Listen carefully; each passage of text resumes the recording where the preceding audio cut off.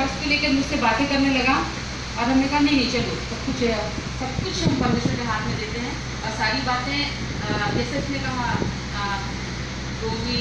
आठ अट्ठाईस को लेकर उसने कहा कि आ, सारी बातें मिलकर भलाई को उत्पन्न करती हैं। तो जो लोग परमेश्वर से प्रेम करते हैं उनकी ये सब बातें